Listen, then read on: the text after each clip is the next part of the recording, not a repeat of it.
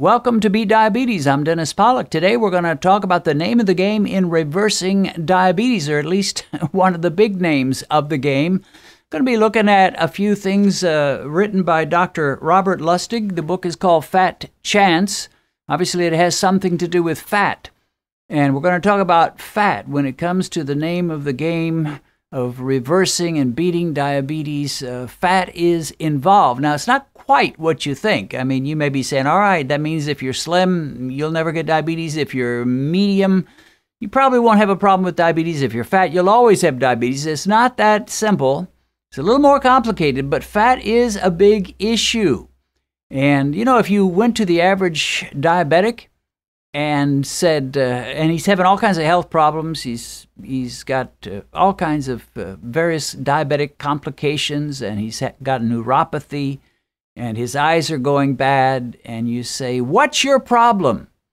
He'd probably say, Well, my problem, duh, it's diabetes. Seemed like once I got diagnosed with diabetes, things just started going south. If you go to someone who's a little more knowledgeable, they may not just say diabetes, they'll say, Well, I'm diabetic because I'm insulin resistant. Well, so far so good. That is true. Type 2 diabetes, that is, is generally because of insulin resistance or they might call it metabolic syndrome. But still, what if you say, yeah, but why are you insulin resistant? Why are you insulin resistant and Billy Bob, your neighbor, is not insulin resistant? And uh, that's where it may get a little more complicated. Some people may just say, well, I just happened to be born with an insulin resistance gene in me and it finally exploded once I turned 52. Why are some people insulin resistant and others are not? Well, according to Dr. Lustig, it has to do with fat. So let's get a few of his quotes real quick. I don't want to make this too long, but he says, Do you ever wish all the fat in your body would somehow disappear? And a lot of people might say, Yeah, absolutely. I wish I could just press a button. Boom. Every trace of fat from my body would leave. And he goes on to make the point that would be the worst thing that could happen to you. He actually says there is a disease called lipodystrophy. He says it's one of the worst diseases known to humankind.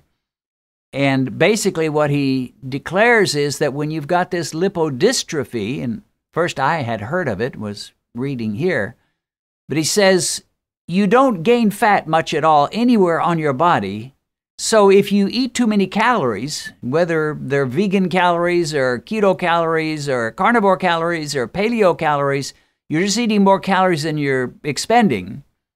It's going to go into your organs.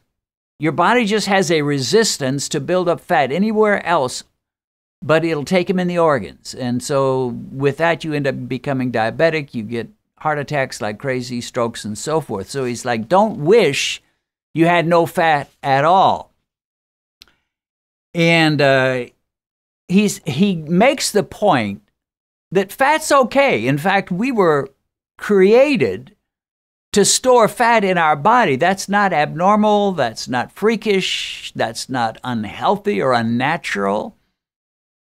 But he says the problem is in your middle. Let, re- let me repeat that. The problem is in your middle. He's talking about the stomach region and the organs that are behind the stomach.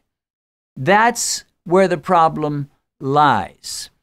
And uh, I had I was uh, with the publisher of my several of my books and my latest book that's going to hopefully come out next year sometime. And uh, we were talking about diabetes, obviously, because the book is a book about diabetes. And he asked, Well, what is it that really makes people tend to be diabetic? Is it their blood type? I said, no, it's not their blood type, it's their body type. and I, I said, you know, some people can gain 20, 30 pounds beyond what's considered normal for their weight and still look really good because they gain weight all over. They gain it in their arms, their legs, their, their buttocks, their calves, and their stomach. So it's distributed well. And they may be 25 pounds overweight, and you look at them and you think, boy, they look good. He said, Well, yeah, that's, that's me, actually. He says, I gain weight pretty much all over my body. But that's not me. And I've been the type that if I gain weight, it's in my stomach. And that is the worst body type ever. So, and the, and the worst place for the fat of all is the liver. Uh, and, and, and that's what a lot of people have, didn't used to much. But now there's a lot of people with non alcoholic fatty liver disease. And uh, it is not a good thing. He says it's the visceral fat that doctors care about because it's the visceral fat that kills you. Visceral fat is a fancy word that means it builds up in your inner organs. So whether you look big on the outside or not, if it's building up on your liver and pancreas particularly, those are the two worst organs you can have a lot of fat. The liver and the pancreas. He says if it's building up there, visceral fat, you're in trouble. So that's what the doctors look for. And he makes the statement that when you tend to lose weight, this visceral fat around your middle and, and in your organs is the first fat to go. Now, that's where I have to uh, maybe disagree with the good doctor a little bit and take some exception, because that's not true for me. If I lose weight, my face will get thin. You know, there was a time when I went keto and I lost weight like almost everybody does when they first do keto. It, it, it didn't stay, but I did for a while. Now, I'm 5 feet 10 inches tall, at least the last time I checked. As you get older, you may lose an inch or two, but 5 feet 10, and I quickly dropped down after a keto diet within a short time to the point where I was around 153, 154, 155 mid 150s, let's say, low to mid 150s. And I looked terrible. I looked rail thin. Now, 5 feet 10 and 155 pounds is really not a bad height and weight combination. And there are a lot of people that can be 5'10 and 155 and look great. But boy, I sure didn't. I looked I looked terrible.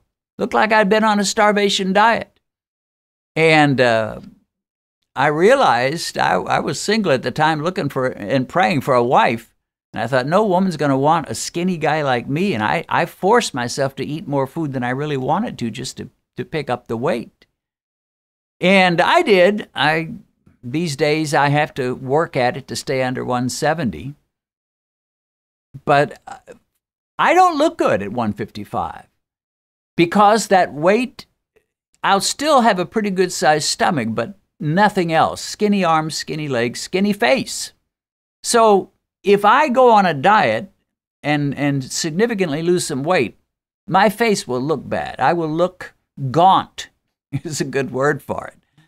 And uh, that's the tricky part.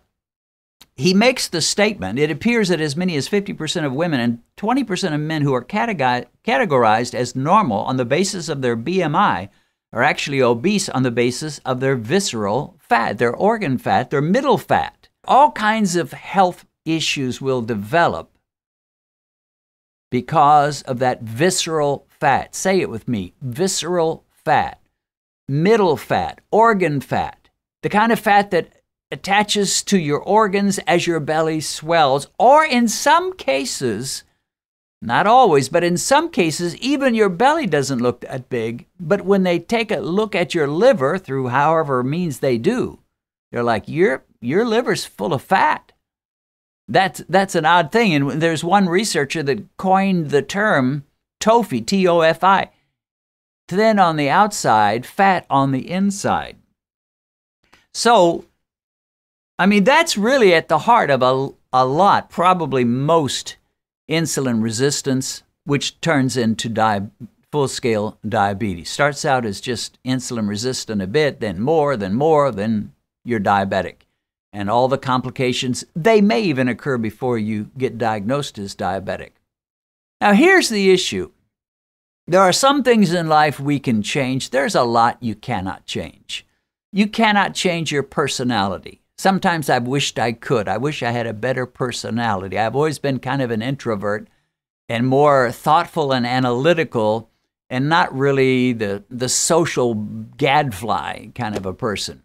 And sometimes I admire people that are good in social situations, and I'm just really not. I'm pretty good talking to people one on one or one on two, but When I get into a big social situation, I don't do so well. I can't change that. I mean, I can try. I can try to say some things and and do my best, but I will never be that social life of the party personality. You, I can't change that.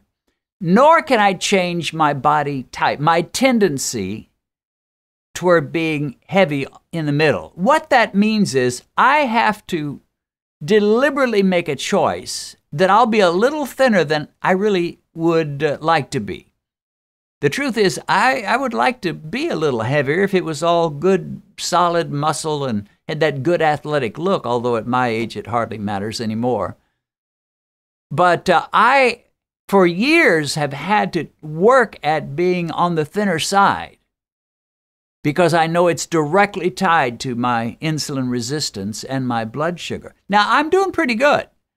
And even though my belly is never probably going to be lean and uh, with all the abs and all that, I'm able by a low carbohydrate diet, by avoiding all the junk and the garbage and the chips and the donuts and the sweets and the starches, I'm able to keep a really good A1C. I, I think it's pretty good for a guy my age, 4.9 or so.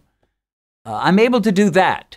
And that's what I'm determined. And I'm also determined that I'm not going to eat as much. I take smaller portions than I would really like.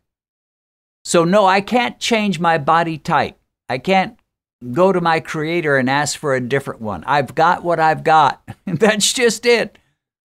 But I can react to that body type by making wise decisions and not eating so much. And what I do eat, it's low carbohydrate. And the low carbohydrate works with the not eating so much because you tend not to store so much fat. So, when it comes to beating diabetes, one of your big jobs is uh, keep an eye on the middle fat, the mid fat, the visceral fat, the, the belly area. Don't let it get out of hand. And of course, keep an eye on your A1C. Keep an eye on your carbohydrates in your diet. Keep them on the low side for sure. And uh, chances are you can live a good, long, healthy life. If you've recently been diagnosed with diabetes and you've just discovered this channel, let me recommend that you go to our uploads page, which will give you access to every diabetic video we've posted since we began. As you work your way through all our videos, I believe you'll find the help you need. A link to our uploads page is in the description.